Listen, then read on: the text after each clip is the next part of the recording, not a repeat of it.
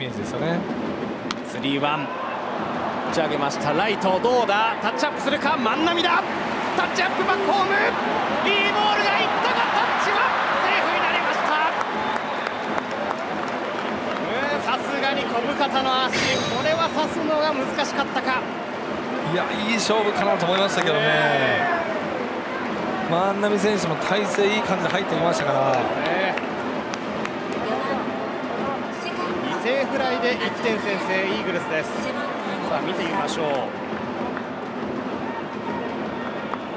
う。いやいいボール返ってきましたけどね。